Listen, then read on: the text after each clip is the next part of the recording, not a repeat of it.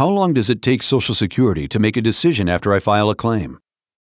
Processing time for Social Security disability claims varies.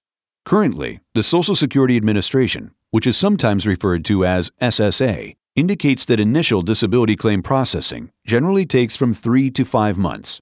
The time frame depends on how much medical information is needed to reach a decision, how quickly you and your medical providers respond to requests, and whether a consultative examination with an SSA appointed physician is needed for additional information. Agency backlogs due to a higher than usual influx of claims can also affect processing times.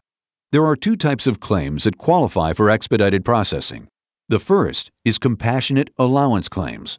If an individual suffers from one of a limited list of diseases, illnesses, or injuries from which no recovery can be expected, either due to the condition itself or due to the advanced stage of the condition, special evidence rules apply.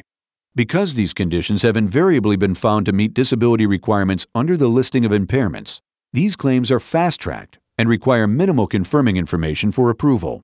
Examples of such conditions are very advanced untreatable cancers and paralyzing spinal cord injuries. The second type of claim that can receive expedited handling is one in which the claimant is clearly disabled and supporting medical evidence is readily available. These claims are fast-tracked for a quick disability decision, which is often completed in less than a month.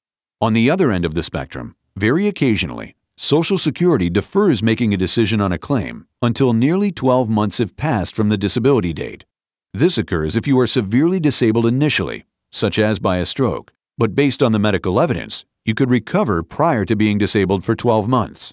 In this situation, Social Security will notify you that the decision on your claim is on hold until closer to the end of 12 months, when updated medical information will be obtained and a decision made.